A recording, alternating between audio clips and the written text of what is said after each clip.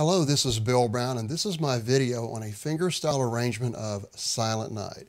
And this is suitable for those of you who've been playing the guitar for about one to two years. And this will give you something about at that level that's beautiful, but yet is not that difficult to play. What I'd like to do first is play through the arrangement for you. That way you can see me and listen to me playing it, and then I'll break the song down for you into small sections.